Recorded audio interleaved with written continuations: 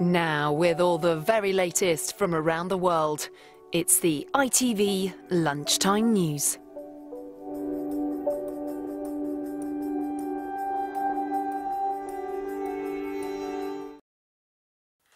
The burning injustice of the gender pay gap. Three quarters of business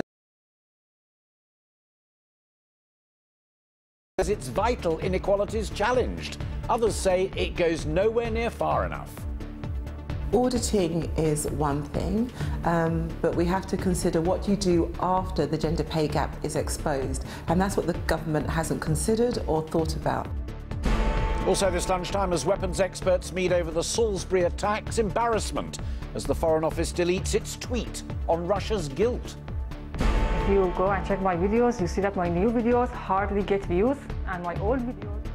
The woman suspected of the YouTube shootings was angry over how the website treated her own videos. And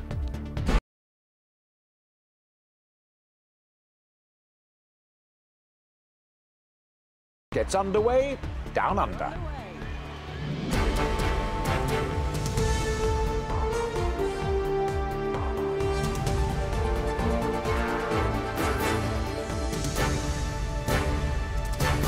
This is the ITV Lunchtime News with Alastair Stewart. Good afternoon.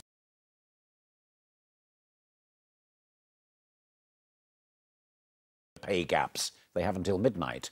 But the 9,000 that have reported confirm more than they pay their women.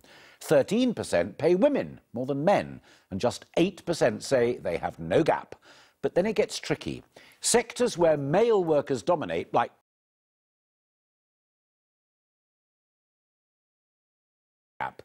Perhaps the biggest issue, whether men and women are getting the same pay for the same job, isn't revealed.